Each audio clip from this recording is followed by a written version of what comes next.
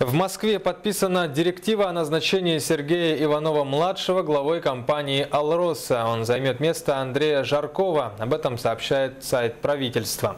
В конце февраля о назначении Сергея Иванова главой компании заявил полпред президента России в Дальневосточном федеральном округе Юрий Трутнев. Андрей Жарков, напомню, написал заявление об уходе в отставку в конце января. До этого Сергей Иванов-младший работал вице-президентом Сбербанка выстраивать такие полноценные отношения с региональными властями, потому как компания имеет безусловное значение для самой республики Саха-Якутия.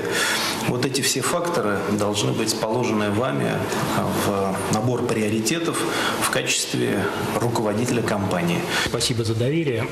Компания сегодня находится в хорошей финансовой форме, способная досрочно погашать банковские кредиты и платить, э, продолжать щедрые дивиденды акционерам э, Российской Федерации, Республики Саха. Безусловно, как одну из задач вижу и наращивание запасов компании, и наращивание добычи, э, продажи непрофильных активов. Вы абсолютно четко сформулировали социальную нагрузку компании, социальную ответственность.